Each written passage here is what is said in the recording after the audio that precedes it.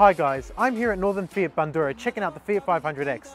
This micro crossover SUV manufactured in Melfi, Italia has been making a big splash since 2014 and has come a long way from its ancestor, the Fiat 500. As many of you know, the Fiat 500 was released in 1949 to meet the demands of the post-war market and despite its size, the 500 proved to be an enormously practical and popular vehicle throughout Europe. And now Fiat's expanded into the compact SUV market with the 500X. Just looking at it, the 500X is bolder, sleeker and more stylish than its 500 counterpart and is the first Fiat to have an all-wheel drive system. Let's take a closer look. Once inside, you can see that Fiat's come a long way since 1949.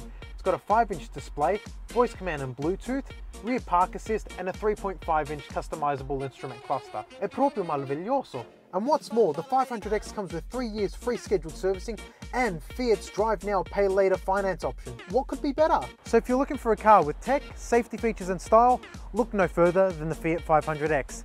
Come on down to Northern Fiat Bundoora, Grimshaw Street, Bundoora, and prove la dolce vita today.